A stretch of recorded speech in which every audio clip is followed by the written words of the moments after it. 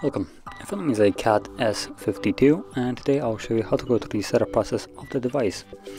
So to get started, when you boot up the device for the first time, you'll have to choose language. Now for me it's already selected the correct one, but if you want to change yours, all you need to do is tap on the arrow right here.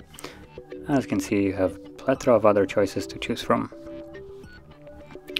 And from there you want to tap on start and you will have the SIM SIM insert page. So this step is completely optional. You can insert your SIM card right here uh, or later and it changes really nothing. The moment you insert the SIM card, the phone automatically recognizes it and starts working normally. I'm gonna skip this for now. Then you have Wi-Fi connection. So you can here connect to your Wi-Fi if you're in the range of your Wi-Fi.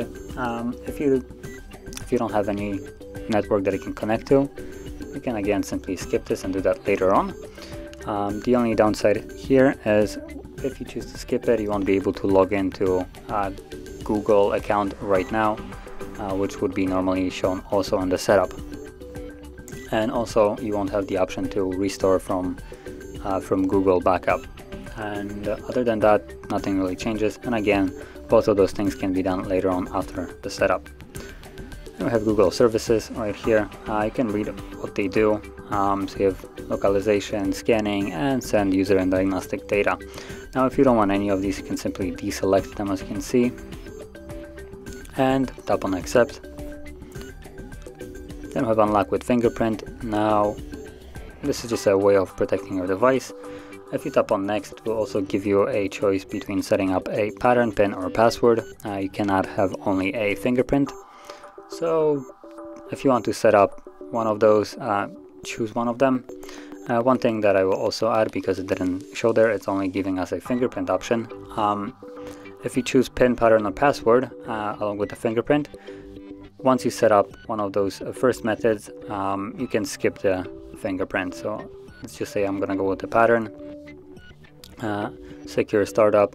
Um, I'll choose no over here. What it will do is um, when you boot up the device, before it fully boots up, it will ask you uh, to, for your PIN, pattern, or password, wherever you want it to protect it with. And then once it fully boots up, you still have to insert it once more. So it just forces you to insert your security before the phone is fully turned on. So I'm gonna select no. And as you can see, there we go. So we need to put in a pattern, draw your pattern or pin or password or whatever it is tap next and repeat it once more and confirm it. And as you can see now it will go to fingerprint so we can now start scanning our fingerprint but if we only want to have one way of unlocking that be pin, pattern and password we can simply skip it. And that will keep uh, the first method that we have chosen while just not adding the fingerprint.